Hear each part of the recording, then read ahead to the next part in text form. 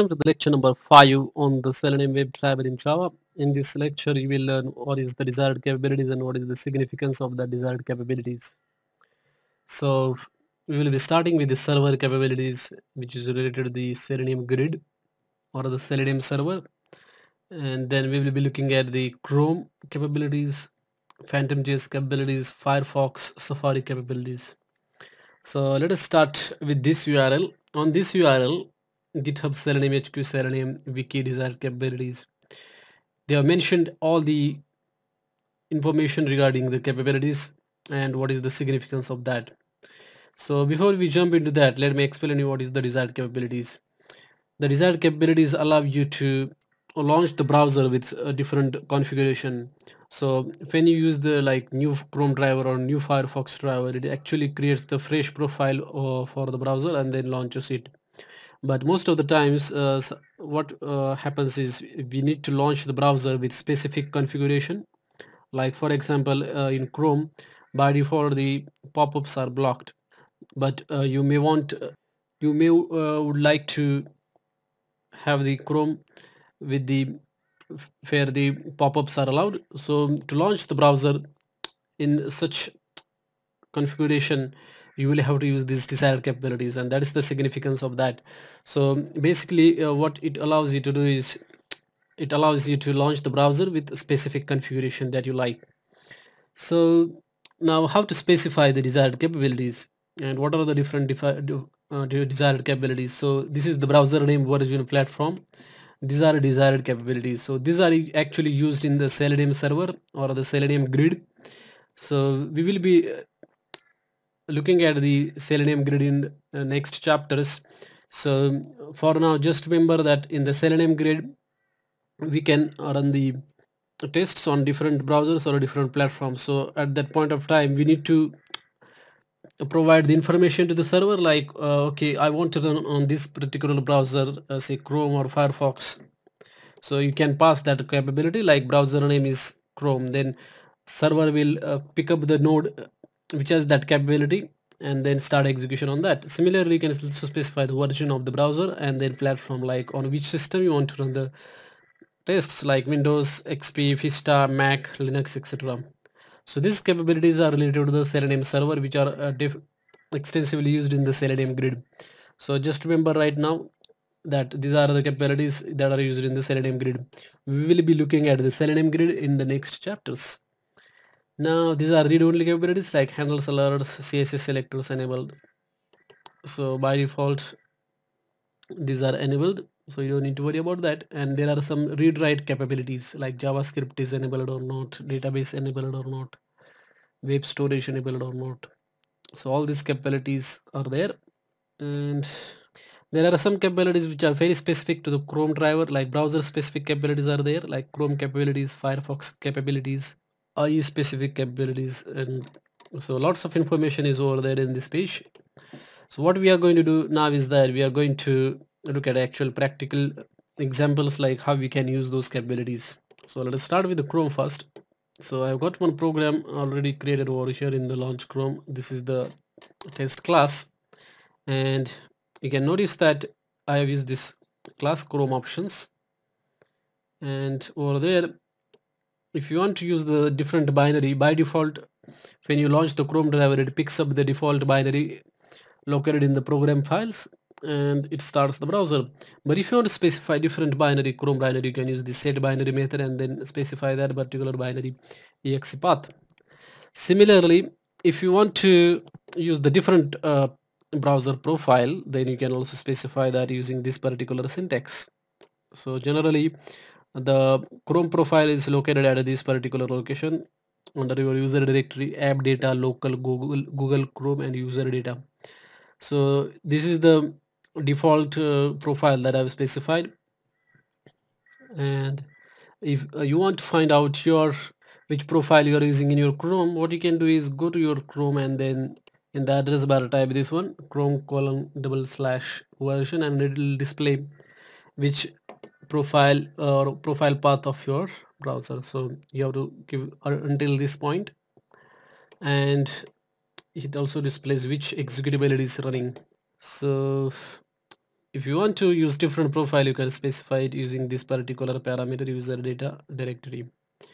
And similarly if you want to disable the pop-ups uh, blocking like uh, by default pop-ups are blocked. If, but if you want to disable that you can use this particular argument this add arguments method is used for that. And similarly if you want to block that security warning sometimes in the older browsers security warning appears when you try to launch the browser using selenium. So if you want to suppress that warning you can use this test dash type argument. And if you want to start the browser with the maximized mode you can use this argument start maximized.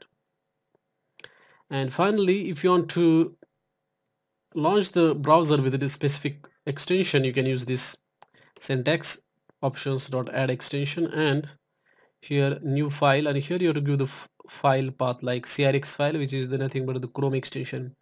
Now if you go to your google chrome and in the settings you will notice that in this particular browser I have got this many extensions but there is no way to download this extension file in the CRX format. Even if you go to the store of the Google store you will not be able to find the CRX file. So to create the CRX file for any extension what you have to do is you have to go to this directory under your user directory app data local Google Chrome user data default extensions. And over there you will find all the extensions. So if I go here so these are all the extensions. Uh, you cannot these are the hash code so you will not be able to actually understand which extension uh, that directory belongs to. But looking at the manifest.json you will be able to find out. And once you are happy with that extension what you have to do is copy that particular directory. Copy it like this one. And paste it at uh, some other location. I have uh, put it in the softwares directory. In here I have put it. And then what you have to do is uh, you have to go to your Google Chrome and then click on developer mode. And then click on pack extension. There you have to give the extension directory that is this directory this one. And then what happens is after that when you click on pack extension what happens is you have to keep this private key uh, file as blank and then click on pack extension. Then what happens is that crx file is created. As you can see the crx file is created after I clicked on that pack extension. And once you have got this file all you can do is you can give that file path in your code like just like how I have given it for here in this method add extension you have to give that file path and then when the browser is launched it, it is actually launched with that particular extension. So what I'm gonna do now is that I'm gonna execute this program. So I'm gonna comment this one. I'm gonna show you how you can use this pop-up blocking thing. So right now I've commented that disable pop-up blocking and if I run this particular program what it is gonna do is it will go to this particular URL where there are lots of pop-ups. And since we have disabled that uh, like we have got the default setting as blocked pop-up those pop-ups will be blocked. So just have a look at that. So to debug the program you have to right click and then click on debug the test method. And now what's gonna happen is it will start the browser but the pop-ups will be blocked and you will notice that in the address bar the pop-ups are blocked. Looks like there is some problem there. But anyways uh, you can use this particular parameter to find the dis uh, disable the pop-ups.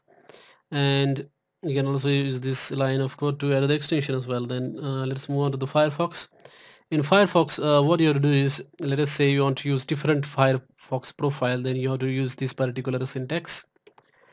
New Firefox and get profile and here you have to give the profile name now here you have to give the name of the profile not the path of the profile. So to find out which profiles uh, you have got in your Firefox what you have to do is go to this particular directory where the Firefox is installed. And then uh, what you have to do is open the command prompt by pressing shift key and then right clicking click on open command prompt here and then use this command called as firefox-p and what happens is it uh, launches one command window here it will display uh, the list of profiles so default is the name of the profile. So if you want to create it you can create another profile or you can rename the default profile as well. So I have given the default name over there because that's the name of the profile. And then I have used new Firefox driver and then here I have specified the this variable profile. And then what will happen is browser Firefox browser will be launched with that specific profile.